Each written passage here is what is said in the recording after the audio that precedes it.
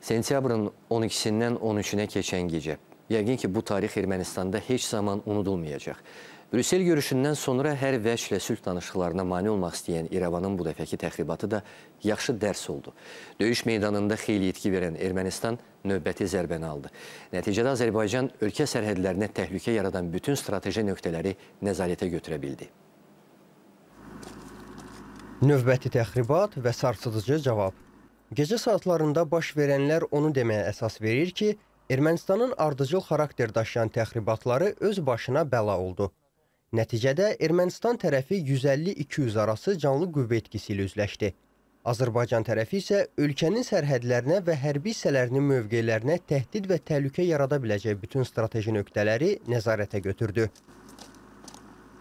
Bu zərbələrdən sonra e, bu zərbələrə e, bu revanşist qüvvələrə yaxşı dərs olacaqdır və regionda regionda kənarda olan və erməniləri daimi təhrif eləyən e, qüvvələrə də e, Azərbaycanın e, imkanları, o cümlədən onun ordunun imkanları göstərməklə gələcəkdə bu təxribatlara son qoyulmasına mən əminəm.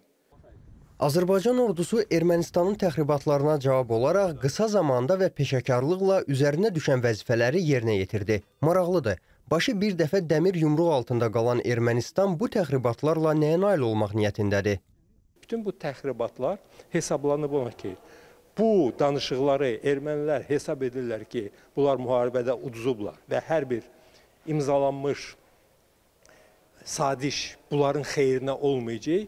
Bunlar mövcud vəziyyəti dondurub özləri üçün fürsət gözləyirlər və ona görə də bu pozu, pozu işi pozmaq niyyətindədirlər. Naxaq ümidlərdir. Azərbaycan bu ümidləri puç eləyəcək.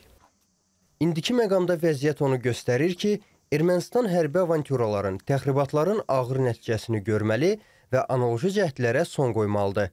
Çünki Azərbaycan tərəfinin cavabı bundan sonra da kəskin olacaq.